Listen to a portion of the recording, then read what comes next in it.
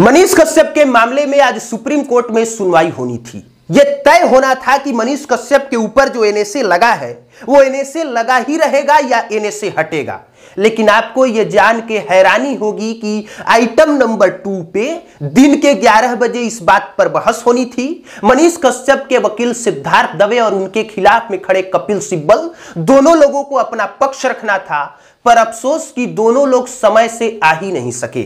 मनीष कश्यप के वकील सिद्धार्थ दवे किसी और केस में इंगेज रहे और मनीष कश्यप के खिलाफ में खड़े कपिल सिब्बल वो किसी दूसरे मामले में रहे। इस वजह से सुप्रीम कोर्ट के माननीय न्यायाधीश ने तारीख बढ़ा दी और तारीख बढ़ाते हुए सोमवार को कहा कि सोमवार को अब इस बात पे बहस होगी।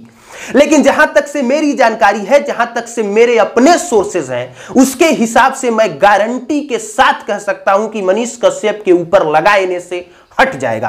क्योंकि जिस तरह से पिछली तारीख पर जो जज थे, उन्होंने सख्त लहजे में पूछा था कि मनीष कश्यप के ऊपर ये एनएसए लगा के किस तरह की दुश्मनी निकाली जा रही थी। जज के इसी टिप्पणी से इस बात का अंदाज़ा लगाया जा रहा था कि मनीष कश्यप के ऊपर लगा एनएसए, हट जाएगा। लोग इस बात का बेसब्री से इंतज़ार भी कर रहे थे। पर दोनों वकील में से कोई भी वकील आ नहीं पाए इस मामले में, और जब आ नहीं पाए तो इस मामले में सुनवाई नहीं हो पाई। लेकिन इसी बीच सबसे महत्वपूर्ण जानकारी जो है वो ये है कि तमिलनाडु सरकार मनीष कश्यप के खिलाफ पूरी तरह से हाथ धो के पड़ी है। क्योंकि तमिलनाडु सरकार ने अपने हलफनामे में कहा है कि ना तो हम प्राथमिकी रद्द करेंगे और ना ही मनीष कश्यप के ऊपर लगा एने से।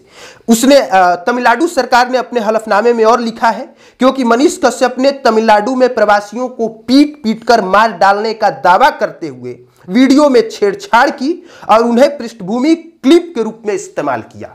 मतलब आप समझिए कि तमिलनाडु सरकार सीधे कहती है कि मनीष कश्यप ने इतना जघन्य अपराध किया है कि मनीष कश्यप के ऊपर जितने एफआईआर दर्ज हैं, हम उसको रद्द नहीं करेंगे और ना ही मनीष कश्यप के ऊपर लगा एने से हटाएँगे।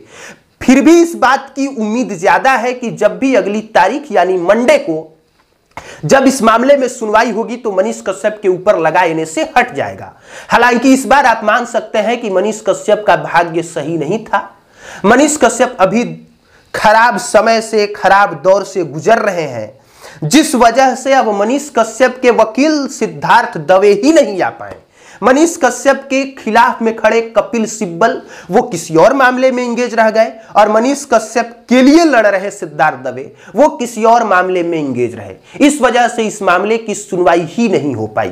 तो अब मनीष कश्यप के जितने प्रशंसक हैं, वो इंतज़ार करें अगली तारीख के सोमवार को। यानी सोमवार को क्या होगा? अब इस बात का निर्णय सोमवार को ही पता चलेगा।